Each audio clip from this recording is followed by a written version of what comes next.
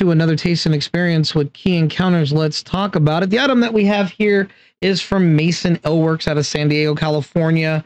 Uh, this is their, well, it's 7% alcohol by volume.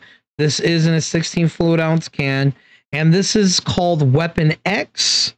Um, and this is now I had made a mistake on the last one I recorded, which was the Deadpool one. Um, and it's actually from their Immortal series. Um, but Weapon X is um, definitely a really nice zombified Wolverine um, situation. The can is fire. Um, gotta love that. So again, I just wanted to correct that in this video versus the other one. We only get to do one take. So if I make any mistakes, I'm glad I'm able to rectify that in another video. So what we're gonna do is we're gonna purge this, make sure it doesn't spill. All right, 7%. And who doesn't like Wolverine? And yes, I did see the movie. I'm going to pour that nice and easy so we don't agitate it and have it go out of control. Okay, get it a nice head, kill it. Set our can right there. Looks great and fantastic. So go ahead and dive right on into it soapy combination of lemon zest, lime zest, regular grapefruit, earthy, and botanical. Nice perfume to it. Nothing sweet, nothing overbearing on the alcohol. Nice, clean beer. But it, everything that I'm describing, times it by two to make it a little more robust to the to the aromatics. So now we're going to taste it.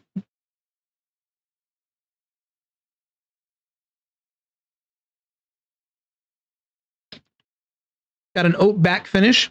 Um, everything that I was describing. Now imagine rose petals.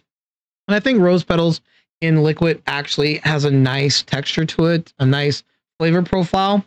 I'm just kind of giving you guys that. Now, consuming it and having a conversation, I'm now getting notes of orange.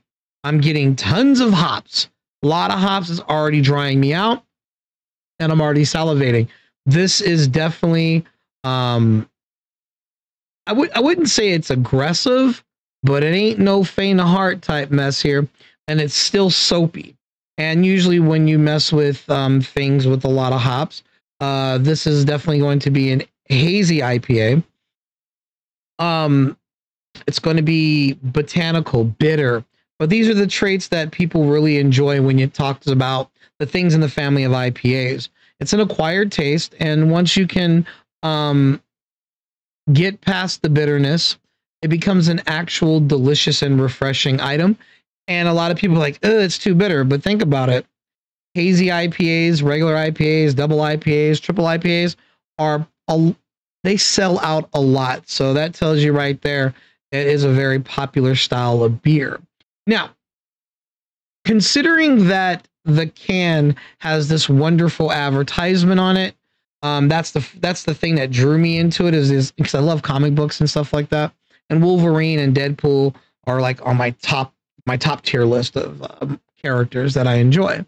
So, does the beer match the advertisement on the can? Absolutely, right? Um, it's meticulous and its flavoring. It's got complexities, just like Logan's story of how he survived, who he is, and what he went through. So there's a there's a nice connection there. Also, the color of the beer and his uniform actually match very well, uh, um, uh, very well. And then on top of that, the aggression that Wolverine could bring is the aggression that the hops are going to do to your salivary glands in a nice way.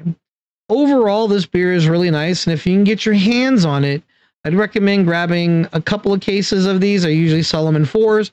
I would highly recommend aging it in a refrigerator or cellaring it. Um, enjoy the four now. They're fantastic.